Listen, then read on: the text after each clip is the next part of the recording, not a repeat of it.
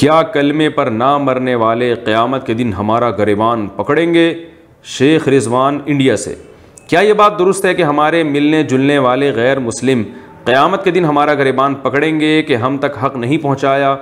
Knees हल्का अहबाब में अमर बिलमारूफ़ और नई अरिलमुनकर का तरीक़ा बता दें। ये बात गलत है कि जो गैर मुस्लिम मर रहे हैं क़्यामत के दिन वो हमारा गरिबान पकड़ेंगे। ये बात सही नहीं है। क्योंकि जो हजत है इस्लाम की, वो तो गैर मुस्लिमों की, पर उसकी दावत पहुँच चुकी है। वो ख़ुद देख रहे हैं कि मस्जिद में और दूसरी इबादत गाहों में क्या फ़र्क है, अज़ान की दावत में और दूसरी दावतों में क्या फ़र्क है। तो इस्लाम इतना दुनिया में फैल चुका है कि वो सारी दुनिया को पता चल गया इस्लाम में और गैर इस्लाम में क्या फ़र्क है। तो गैर मुस्लिम पर ख़ुद वाजिब है कि वो तहकीक करके इस्लाम कबूल करे।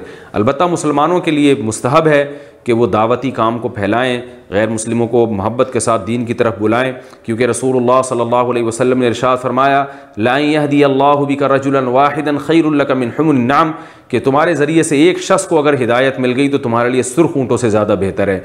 तो इस बहस में पड़े बगैर के वो मर के हमारे खाते में जा रहे हैं और हमारा गरिमान पकड़ेंगे या नहीं पकड़ेंगे, इस बहस में उलझने के बजाय तबलीग का काम करना चाहिए ताकि हमारा क़्यामत के दिन अल्लाह की नज़र में मकाम बुलंद हो और सवाब हमें खूब ज़्यादा हम सवाब कमाएँ। लेकिन बहरहाल ये जो कहा जाता है आमतौर पर कि जितने गैर मुस्लिम जा रहे हैं, हमारा गरिमान पकड़ेंगे, ये बात गलत है।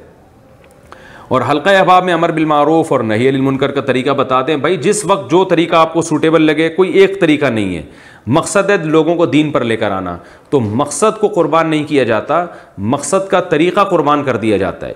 तो ज़राए मकसूद नहीं होते, मकसद है लोगों को दीन पर लाना। जो तरीका जिस वक्त जिसको सूटेबल लगे, उस तरीके से उसको दीन पर लेकर आए, मोहब्बत से, नरमी से। हाँ डंडे के ज़ोर से दीन पे लाना, ये सिर्फ़ इस्लामी हुकूमत को अथॉरिटी हासिल है। आम आदमी को, आम लोगों पर यह अथॉरिटी हासिल नहीं है।